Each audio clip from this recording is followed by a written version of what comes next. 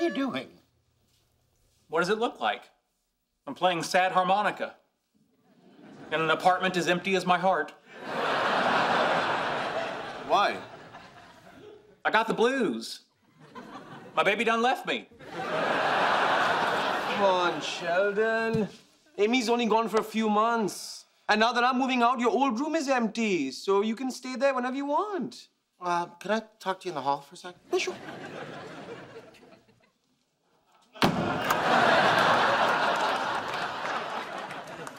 Sheldon, you're being silly.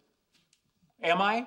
Yesterday I had an Air Force project, a girlfriend who lived with me, and my good friend Raj right across the hall. You really care about that last one? No, but that list was sounding a little thin.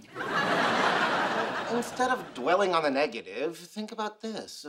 Your girlfriend was given an amazing opportunity, which gives you an opportunity to show her that you're a loving and supportive boyfriend. So trick her.